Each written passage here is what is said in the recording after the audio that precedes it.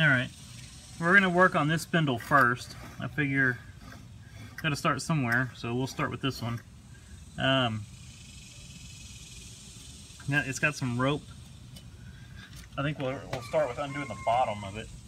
And it's got some rope um, wrapped around so we can't get our thing on there, socket on there. I'm going to try my little 3 8 ratchet wrench, or not ratchet wrench, but um, air impact ratchet. See if that'll break it loose. May not. I don't think it's high enough to get my half inch uh, impact on it. And I guess we'll worry about getting that off later. These blades are shot. They are done. Worn out. And are they on backwards? I guess I need to see which way this thing rotates. No, I guess it rotates this way. Yeah, because it would need to throw it out this way. If it did it this way, it would not throw it out right. So they're on right. It goes this way. Um, let's see if this thing will break them loose. It's a 15 16ths.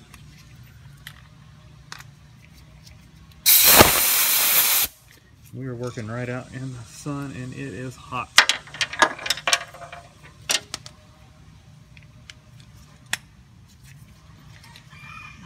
are to go in reverse. I don't know if this is going to do it.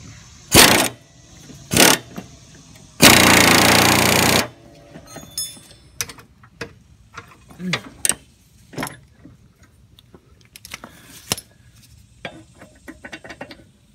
a little loose. I wonder if it's a metric. Try metric. Uh, couldn't get a 7 eighths on it. Let's see. Let's go with a. um, 24 maybe?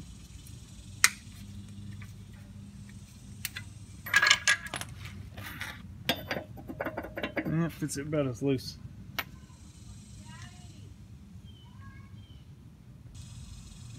All right, jacked it up a little bit further, or got it a little bit further. I can just get my impact under there. Um, so let's see if we can break these loose. And I went ahead and decided I needed the impact to do this.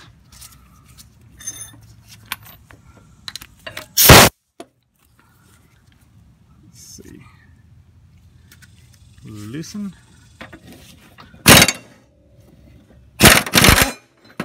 There we go. And it broke loose. Still kind of tight though.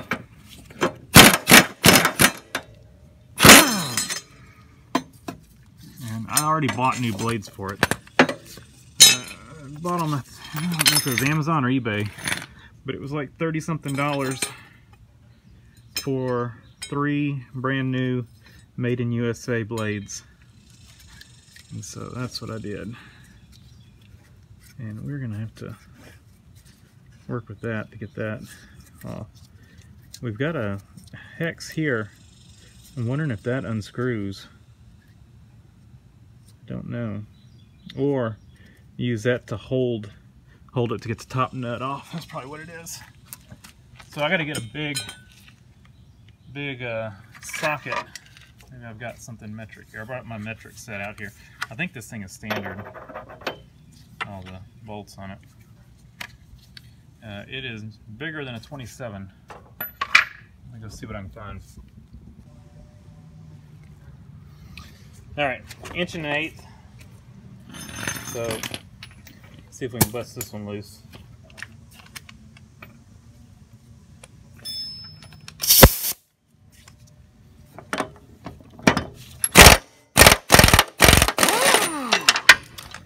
That one was tighter. Pull the pulley off. I think it's splined. That nut off, or that washer off. Uh, let me get some oil. It looks really rusty down in there. Old can of penetrating oil. Works good though. That should work.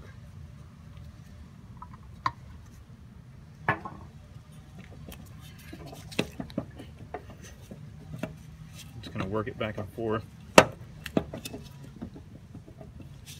I can get some screwdrivers and pry on it, but we're gonna try this easy first. Getting more and more slop in it.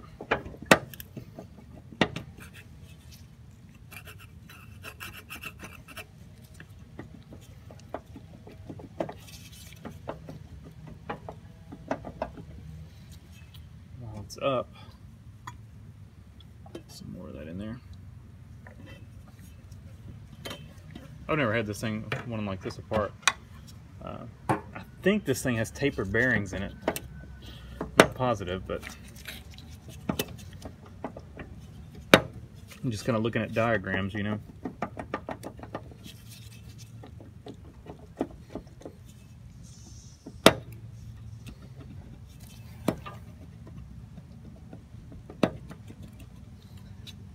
Let's, let's get a screwdriver in here.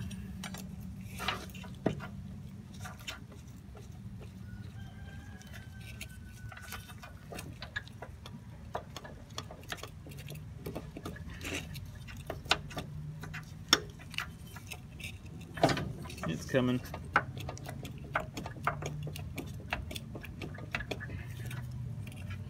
Just a little tight.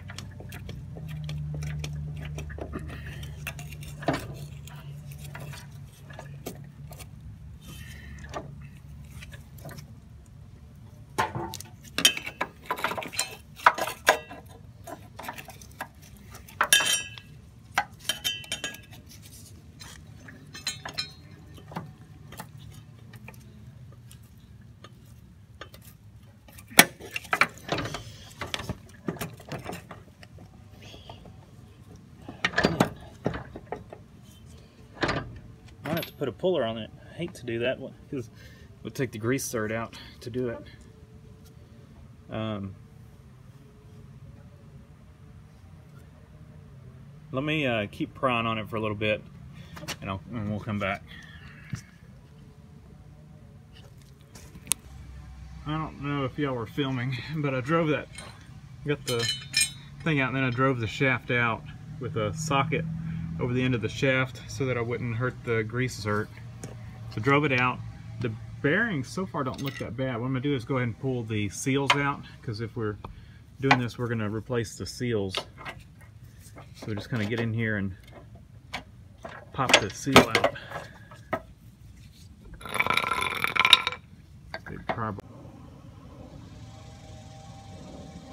My camera keeps turning off.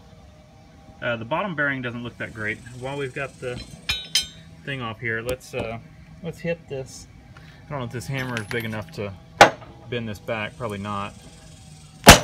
No. It's gonna take a big sledgehammer to dent that back.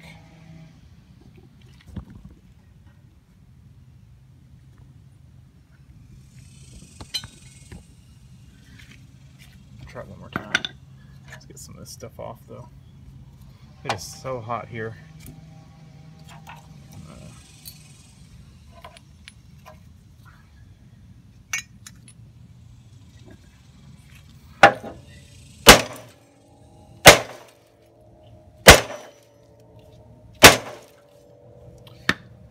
It may have gone a little bit.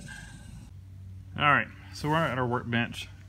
We got the shaft here and it's got splines on it. I did not bring the pulley, but the pulley goes down on these splines. It's got this uh, piece here that is pretty beat up, but uh, we can work with that and kind of get it cleaned up. That protects the seal, our seal surface.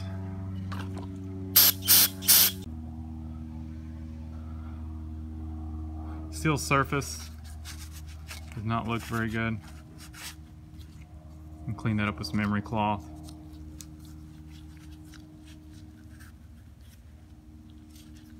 This shaft is pretty uh,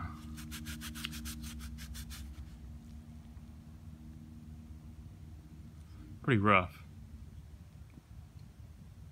So the bearings, I think this is the bottom bearing.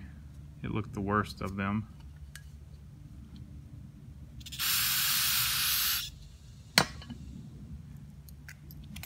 Think I'll do?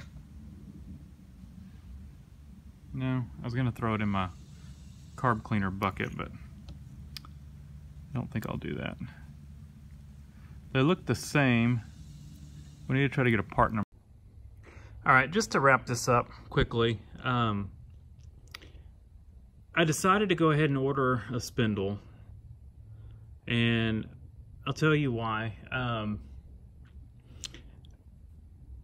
so a bearing, a good quality bearing was just under $20, about $18. And I think that was for a national. And that 30205 number that is actually the bearing number. You, there's some that have a few digits after those, and I couldn't tell what the difference is on those. Maybe different um, duty rating or something like that. Um, or maybe some kind of different application type.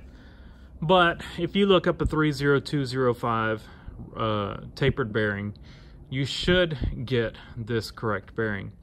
Now, um, I did did not get any numbers off the seal, but I did find one and I'll put I'll put the dimensions of the closest seal I could find right here. Um, I don't have the piece of paper out here with me where I put all that work together. I don't know for sure if that's the exact seal, but that's the closest I could get it. I want to say it was like a 30 by 50 by 10 or 50 by 30 by 10. Don't quote me on that. Um, it was something like that. But like I said, it'll be right here in the video.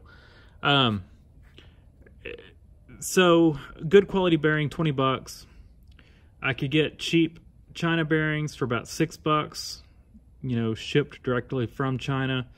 So, and uh, the same thing on the seal, about $3 for a cheap China seal, about $7 for a good quality seal. So for a good quality seal on this one and a good one good or two good quality seals and one good quality bearing, we're at uh, $34. Around, you know, give or take a little. So if I went with cheap China bearings, I could get um, I could have it together for about 20 bucks. Um,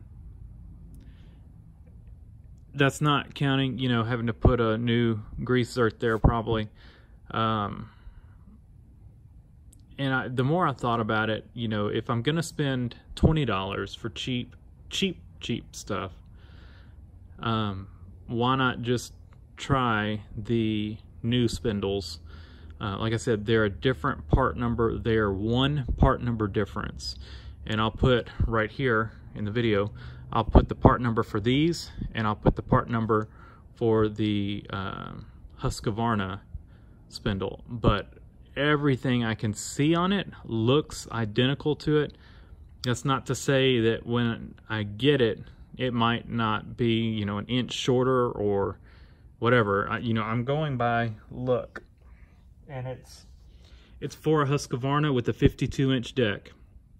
And you know Husqvarna made a lot of these, and uh, a lot of the Husqvarna's parts fit these, and so with it being a 52 inch deck, I'm thinking it will work, but I can't be for sure. But we're gonna try it. It's from Amazon, so if it doesn't work, I can return it. But I got three spindles, brand new, complete for um, uh, $99. That's without tax, and it was free shipping. So you really can't beat that. I, it may be cheap China bearings in them. I, I don't know. But as much abuse as these have had with this thing sitting outside, you know, you can see the shaft I'm dealing with here how rusted and pitted this thing is. Of course, it doesn't really matter in here. but you know, we do have some wear on the shaft right here where the, uh, where it rides. And I didn't even clean up this, but you can see that that seal surface looks like it's got a groove in it. Now this piece, we could probably just flip it over upside down and get a new clean surface. But here is not that great. Now I chucked this thing up in my lathe and ran it and used some emery cloth to get it to be this good, but it's still got some deep gouges right in there. And when I chuck this thing up in the lathe, um, it is slightly bent. Now, whether it's enough to cause any issues, it looks like this might come off too because I might could flip this around. But whether it's enough to cause any issues, I don't know. Um, but, you know, this side was, this spindle was the one where the deck itself is, uh, where the spindle mounts is bent. And so this, the blade on this side probably hit something pretty substantial and it bent the deck up a little bit and it slightly bent this spindle. And so at that point, the best deal I could find on spindles, I think it was like 40 something bucks for a single. Um, I probably could have looked and found them cheaper, but just a quick glance. And then, I, or I could get all three for 99. And so um, that same listing that had the singles, they had a single and I think a singles 52 or three for 99. And then I think somewhere else I looked, they had, I think one for 43, I think. Um, so I just decided to go ahead and get three new ones. The time that I've got invested into, you know, rebuilding this, you know, I, I'm still got questionable, not questionable parts, but pretty ratty parts. And I can get those spindles now. Whether I can get them, you know, in another couple years, who knows? So I'm not going to chunk these. What I'll do is I'll put this one back together just like it is. I'll even tap these old seals back in it and it'll go up on a shelf with the other two spindles. And um, aside from seals, I could probably put together one or two spindles out of what I've got. I know this one's got a bad shaft, um, but maybe one of the other two. I would bet that maybe that center spindle might not have as much water damage because it's it's got that cover over it um, to maybe protect against some of the water intrusion. But, you know, I don't know. Um, I just, this is not good parts you want to work with, really. It, it's doable, like I said, and if those spindles end up being wrong, the ones that we ordered, uh, we may have to rebuild this one. But uh, if we can get new parts, then I think that's the way to go and not try to just um, I can't even say be cheap because you're really not any cheaper to rebuild this. So it, it, just, it didn't make any sense. So we've got new spindles on the way. And like I said, uh, if you if you want to rebuild yours, I'll put um, the bearing number and the seal dimensions approximate are in this video and the link to the three replacement bearings or replacement spindles will be in the description and I will let you know if they work. In fact, I will post this video after I make sure they work and I'll add that on to the end of this video.